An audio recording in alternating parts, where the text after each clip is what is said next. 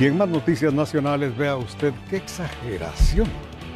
Más de 10 mil paquetes de droga y más de un millón de plantas de marihuana es lo que se ha cerrado el año 2017 según reporte de las eh, incautaciones que tiene el ejército de Guatemala, aunque por supuesto el año aún tiene unos días. Este año hemos podido incautar 10.274 paquetes de droga por parte del ejército de Guatemala.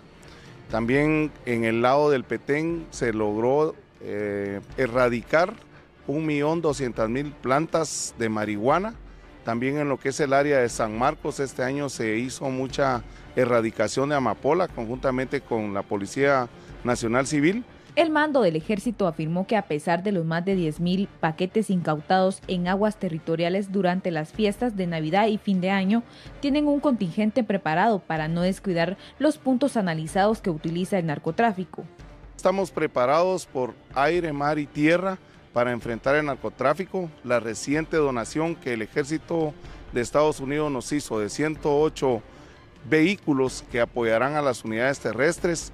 Estas ya están siendo movilizadas a las áreas fronterizas, en los corredores que consideramos que se mueve más droga, así que por lo tanto será más difícil que se pueda estar moviendo la droga en el territorio guatemalteco.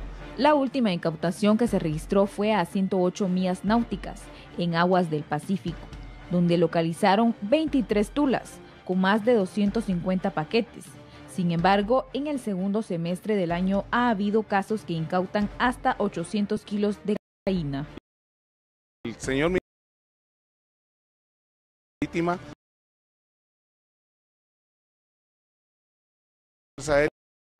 gracias a Dios, dos helicópteros que están movilizándose para poder controlar vía aérea el territorio nacional y próximamente estaremos teniendo dos helicópteros más